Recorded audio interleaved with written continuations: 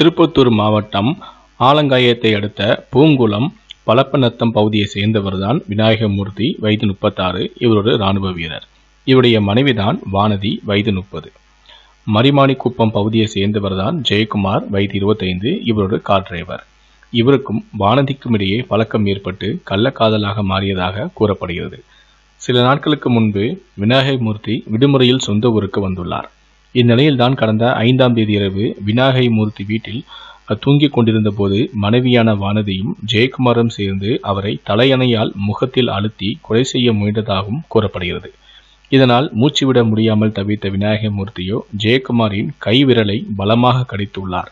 இதில் காயமடைந்த ஜெயக்குமார் அங்கிருந்து தப்பி ஓடியும் உள்ளார்.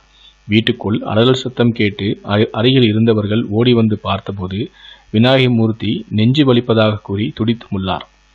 உடனடியாக அவரை மீட்டு வாணியம்பாடி அரசு மருத்துவமனையிலும் சேர்த்தனர்.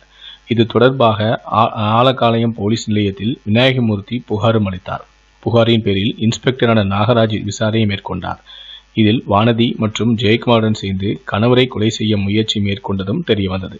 இதைத் தொடர்ந்து இவர்கள் மீது போலீசார் வழக்கு பதிவு செய்து வானதி மற்றும் ஜெயக்குமார் ஆகிய இருவரையுமே கைது செய்து தற்போது சிறையிலும் அடைத்துள்ளனர்.